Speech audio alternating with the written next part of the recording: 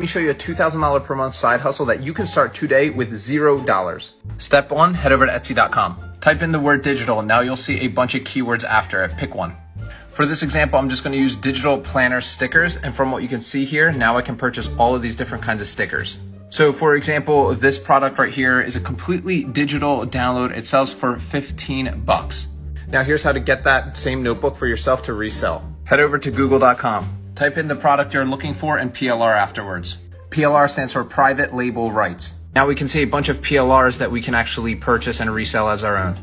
For example, this PLRplanners.com offers me the opportunity to purchase these pre-written planners that I can resell.